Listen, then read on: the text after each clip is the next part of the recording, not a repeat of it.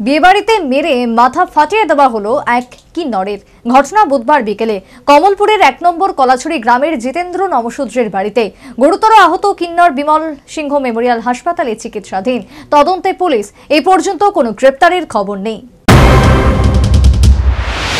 কমলপুরের এক নম্বর কলাছড়ি গ্রামের বাসিন্দা জিতেন্দ্র নমশূদ্রের মেয়ের বুধবার বিয়ে।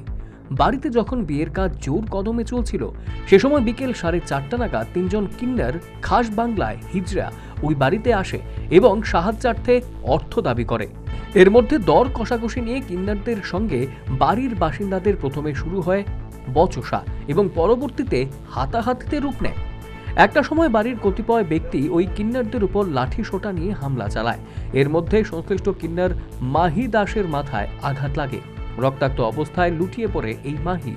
ঘটনা একটা সময় এতটাই মর্মান্তিক হয়ে ওঠে যে কেউ এসে ওই কিন্নারকে চিকিৎসার জন্য হাসপাতাল পর্যন্ত নিয়ে যাওয়ার প্রয়োজনীয়তা বোধ করেননি। খবর যায় কমলপুর থানায়। ছুটে আসে পুলিশ। এর মধ্যেই কিন্নারকে কমলপুর বিমল সিংহ মেমোরিয়াল হাসপাতালে পাঠানোর ব্যবস্থা করা হয়। এক্ষেত্রে তিনজন কিন্নারকেই প্রহৃত করা হয়েছে।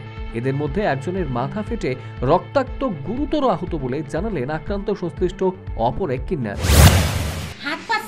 আমার হাতের উপরও বাড়ি চলতেছে মহিলারা থামাইতেছে। তা আমার দাদারা নেশাভুক্ত নেশা করে আসছে।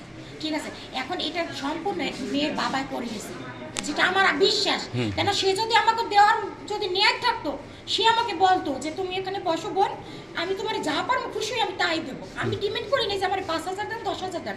আমি এরকম কোনো ডিমেন্ডই করিনি তার সাথে।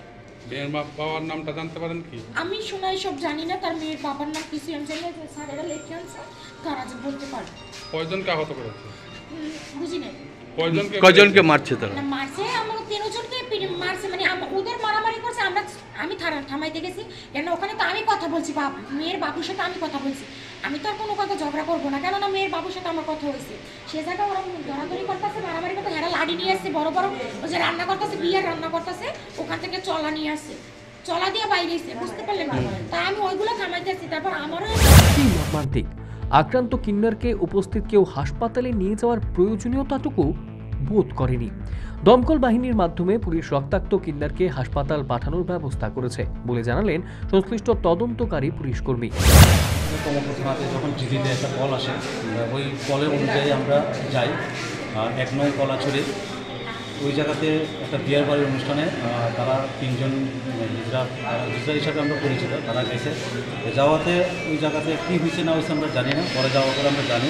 একজন তিনজন অবস্থায় আর পাইছি আমরা গিয়ে। আরও দুজন মহিলা তারা সব সঙ্গে দুজন আছে। ওই জায়গাতে আমরা যে ইনজুর তাকে আমরা প্রথমত নাম কি? যে ইঞ্জুরির নাম হচ্ছে মাহি দাস বয়স অনুমানিক ছাব্বিশ। এরপরে আমরা ওই ওনাকে যখন ট্রিটমেন্টের জন্য আমরা হসপিটালে আনার জন্য আমরা ফায়ার সার্ভিসকে কল করি। ফায়ার সার্ভিস দ্বারা আমরা তাকে হসপিটালে শিফট করা হয়। তো হসপিটালে আওয়ার পর এখন দেখি মোটামুটি আচ্ছা মাহিদাকে কোন জায়গায় আঘাত করেছে? মাহি দাসের সম্ভবত মাথা বা এরকম কপাল সাইডে আঘাত হয়েছে। তিনটা সিঁড়ি লেগেছে। বড়ই মর্মান্তিক। বিয়ে বাড়িতে সাহায্য চাইতে গিয়ে আক্রান্ত এক কিন্নার। রক্তাক্ত বিমল সিংহ মেমোরিয়াল হাসপাতালে বর্তমানে চিকিৎসাধীন সে। তবে এই সমস্ত একাংশ কিন্নাররা যে বিভিন্ন বিয়ে কিংবা অনুষ্ঠান বাড়িতে গিয়ে অতিরিক্ত হুজ্জতি নাস্তানাবুদ করে, তাও কিন্তু অস্বীকার করার কোনো উপায় নেই। তবে এদিনের যে ঘটনা ঘটলো, তা কিন্তু মর্মান্তিক। যে কেউ হোক না কেন, আইন হাতে নেওয়া দণ্ডনীয় অপরাধ। এভাবে মেরে মাথা ফাটিয়ে রক্তাক্ত করা আরও অধিক দণ্ডনীয়। ভুললে চলবে না, আইন সবার জন্য সমান। পুলিশ ঘটনার তদন্তে নেমেছে। তবে এ ব্যাপারে এ পর্যন্ত কাউকে গ্রেপ্তারের খবর নেই। ব্যুরো রিপোর্ট নিউজ ব্যাংকার